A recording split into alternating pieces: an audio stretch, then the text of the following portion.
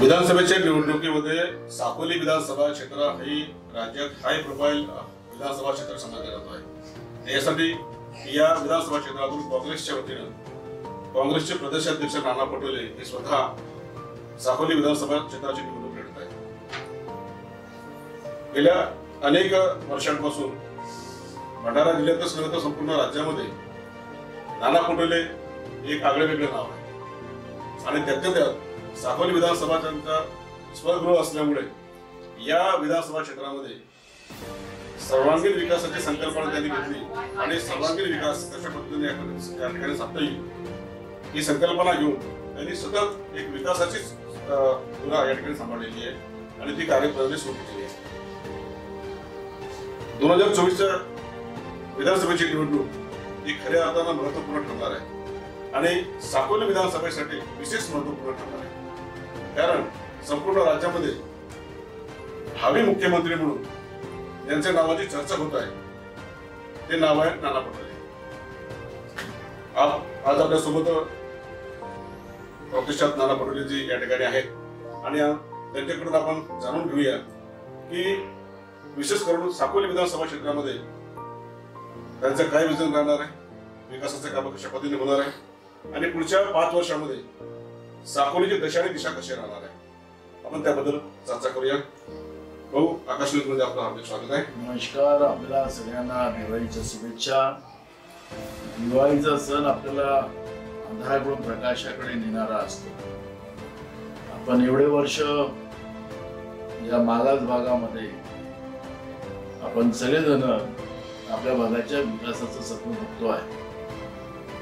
आपल्या लक्षात असेल की आपल्या भागामध्ये आपण रस्ते असतील फुलं असतील ही मोठ्या प्रमाणात आपण पाहिली समाज मंदिर असतील बुद्धविहार असतील ज्या ज्या समाजाला जे जे काही पाहिजे ते ते आपण त्या पद्धतीने त्या समाजाला देण्याचा एक प्रयत्न केला. पण माझ्या मनामध्ये नेहमी एक इच्छा होती कारण की मी भूमिपूजन पण करत नाही आणि त्याचं उद्घाटन पण करत नाही आपल्या सगळ्यांना माहिती जिथपर्यंत मी तुमच्या जीवनामधला जो आधार आहे जे विश्व दारिद्र्य आहे. तिथपर्यंत मी त्याचं उच्चाटन करणार नाही तिथपर्यंत मी शांत बसणार नाही. हीच भूमिका माझी होती. आणि म्हणून तुम्हाला सगळ्यांना प्रकाशाकडे तुमचं उज्ज्वल भविष्य न्यावं. तुमच्या मुलाबाळाचं कल्याण व्हावं. हे संबोधन होतं ती वेळ आज आली आहे.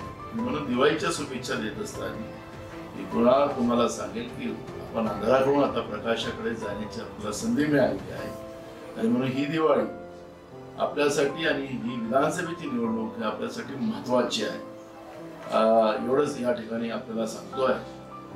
आज आपण जे काही प्लॅन केलेला आहे आपल्या विधानसभेचा आपल्याला बारमाही पाण्याचे साधन आपल्याला आपल्या आपल्या विधानसभेत करायचं आहे. शेतीवर आधारित उद्योग उभे करायचे आहेत. लाईनचा जो प्रश्न महत्त्वाचा आहे की या भ्रष्टाचारी सरकारने कोळशामध्ये पण आपले हात काळे केले आपली तोंड गाडी केली आणि म्हणून विद्युत आपल्याला महाग आपल्याला शेतकऱ्यांना विद्युत द्यायची त्याच्यापेक्षा जास्त उद्योगाला कशी देता येईल आणि त्याच्यामध्ये जास्त पैसे कसे कमवता येईल? आणि अन्नदात्याला कसं त्याला त्याच्या शेतातलं पीक वाढवता येईल? याच्यावरच या लोकांनी काम केलं. भरपूर विद्युत आपल्या शेतकऱ्यांना देण्याचा एक स्वप्न होतं आणि शेतीवर आधारित उद्योग उभे म्हणजे याचा अर्थच की माझ्या शेतकऱ्यांच्या शेतीच्या मालाला विकत असताना त्याला कोणाच्या गाडीला हात लावायची गरज पडली नाही. पाहिजे माझ्या शेतकऱ्यांच्या जवळ येऊन पाहिजे त्या भावानं त्याला त्याचा मान विकता यावा. त्याच्या घामाला मोबदला मिळावा. हे माझं स्वप्न होतं आणि ती वेळ आज आपल्या हातात आहे. शेतीवर आधारित उद्योग उभे केले याचा अर्थच की आमचे शिकलेले मुलं मुली यांनाही आपल्याच परिसरामध्ये मोठ्या प्रमाणात रोजगार निर्माण करता येईल अशा पद्धतीचा एक प्रयत्न आपण करतो आहे. ग्रहोद्योग निर्माण करून मोठ्या प्रमाणात महिलांना गावातच रोजगार उभे कसे करून देता येईल याच्यावरच एक काम आपण आपल्या भागात करणार एक मोठं परिश्रमाच्या नंतर राज्याचं काँग्रेसचा प्रमुख म्हणून आज काम करत असताना माझ्या नेतृत्वात महाराष्ट्रामध्ये जेव्हा निवडणुका होतात आहे याचाच अर्थ की महाराष्ट्रामध्ये जेव्हा सरकार येणारच आहे काळ्या दगडावरची पांढरी रेष सरकारचं नेतृत्व करत असताना आपल्याला आपल्या साकोली विधानसभा नव्हे तर भंडारा जिल्हा नव्हे तर गोंदिया जिल्हा आणि विदर्भातल्या सगळ्या जिल्ह्यात मोठ्या प्रमाणात विकासाचं जे स्वप्न तुम्ही आम्ही पाहिलं त्याला पूर्ण करण्याची ही संधी आता मला आलेली आहे. आणि त्याच्यामुळे आपल्या विधानसभेत आपण करूच. गडचिरोलीचं आपल्याला सगळ्यांना माहीत असेल की सुजागड म्हणून प्रकल्प त्या ठिकाणी एक प्रकारचं सोन्याची खाण आहे.